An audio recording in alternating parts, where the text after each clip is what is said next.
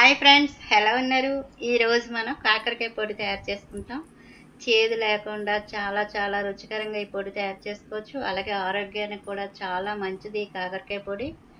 దీన్ని ఎలా తయారు చేయాలో ఈరోజు మీకు చూపిస్తాను. అలాగే కాకరకాయలు నేను హాఫ్ కేజీ తీసుకున్నాను. దీన్ని శుభ్రంగా కడిగాను ముందే కడిగి ఈ తడి లేకుండా క్లాత్తో తుడుచుకోవాలి. తుడిచిన తర్వాత ఒక క్లాత్ మీద ఒక ఐదు నిమిషాలు ఫ్యాన్ కింద ఆరబెట్టుకోవాలి. ఈ కాకరకాయలు బాగా ఆరిన తర్వాత పైన ఇలా పొట్టు తీసుకోవాలి. ఇలా తీయడం వల్ల కూడా చేదు లేకుండా ఉంటుంది కాకరకాయ పొడి. లేదు పర్వాలేదంటే ఈ పొట్టు ఉంచుకోవచ్చు. నేనైతే పొట్టు తీసేసాను. ఇలా తీసుకున్నది ఒక ప్లేట్లో పెట్టుకుని వీటిని బాగా తురుముకుందాం. నేను హాఫ్ కేజీ తీసుకున్నాను. అలాగే బాగా ముదిరినవి కాదు అలానే లేతవి కాదు మీడియంగా ఉన్న కాకరకాయలు తీసుకున్నాను నేను. ఈ కాకరకాయలు అన్నీ తురుముకోవాలి. అలాగే నేను చెప్పిన విధంగా చేశారంటే చేదు అనేది ఉండదు. చాలా రుచికరంగా ఉంటుంది ఈ పొడి. మనం రైస్ తోటి బాగుంటుంది. ఒక స్పూన్ నెయ్యి వేసుకొని ఈ పొడి వేసుకొని తింటే చాలా చాలా బాగుంటుంది. అలాగే కాకరకాయలు అన్నీ తురుముకున్నాం కదా. ఇప్పుడు ఇందులోని ఒక అంటే పావు టీ స్పూను ఉప్పు వేసుకుందాం. ఉప్పు వేసుకొని పావు టీ స్పూన్ పసుపు వేసుకుందాం. వేసుకొని ఒకసారి అంతా కలుపుకుందాం. ఇలా చేయడం వల్ల అంటే కాకరకాయలో ఇంకా చేదు ఏదైనా ఉంటే పోతుంది అంటే వాటర్ కింద వస్తుంది. ఇలా కలుపుకొని దీన్ని పక్కన పెట్టుకుందాం. పక్కన పెట్టుకుని మనం గ్యాస్ ఆన్ చేసుకున్నాం కదా బాండి కూడా పెట్టుకున్నాం. ఎండుమిర్చి ఒక పదిహేను తీసుకున్నాను నేను జీలకర్ర పావు టీ స్పూను ధనియాలు హాఫ్ టీ స్పూను బెల్లం చిన్న మొక్క వెల్లుల్లి ఒక పాయ తీసుకుని ఇలాగా మనం రేకల కింద ఒలిచి పెట్టుకున్నాను. అలాగే బాండి కూడా వేడైన తర్వాత కొద్దిగా ఆయిల్ వేసుకుందాం. ఎక్కువ వేయకండి. కొద్దిగా ఆయిల్ వేసుకుని పోపు వేసుకుందాం.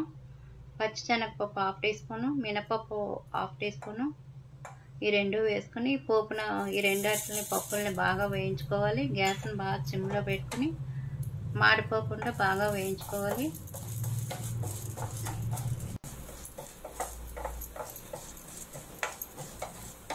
మనం నచ్చితే పల్లీలు కూడా వేసుకోవచ్చు ఇందులోనే. నేనైతే పల్లీలు వేయలేదు. పచ్చిశనగపప్పు మినపప్పు కూడా వేగిపోయింది. ఇందులో మనం ధనియాలు జీలకర్ర కూడా వేసుకుందాం.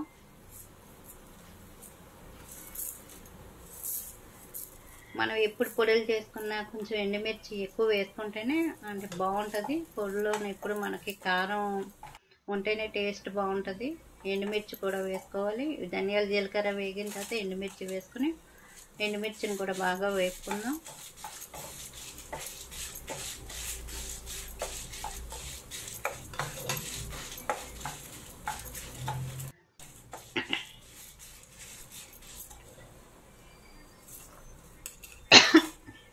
ఎండుమిర్చి వేగింది. అలాగే వెల్లుల్లి రేకలు వేసుకుందాం. వేసుకొని ఒక్క నిమిషం వేపుదాం. ఎక్కువ వేపక్కర్లేదు. ఇవన్నీ వేగిపోయి కదా ప్లేట్లో తీసుకుందాం.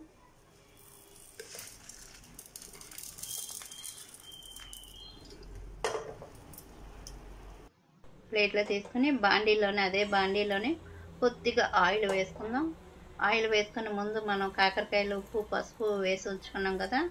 ఈ దీన్ని గట్టిగా పిండి అప్పుడు ఆయిల్ వేసుకోవాలి బాగా వేపుకోవాలి.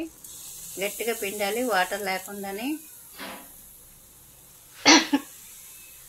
పిండి దీన్ని బాగా వేపుకోవాలి. మనం ఈ కాకరకాయని బాగా వేపుకోవడం వల్లే పొడి కూడా బాగుంటుంది. ఇది ఏమాత్రం మనం వేపడం తక్కువ. ఏంటంటే పొడి ఎక్కువ రోజులు ఉండదు. అలాగే టేస్ట్ కూడా బాగోదు. గ్యాస్ని మన చిమ్లో పెట్టుకొని కొంచెం ఓపుగ్గా బాగా వేపుకోవాలి.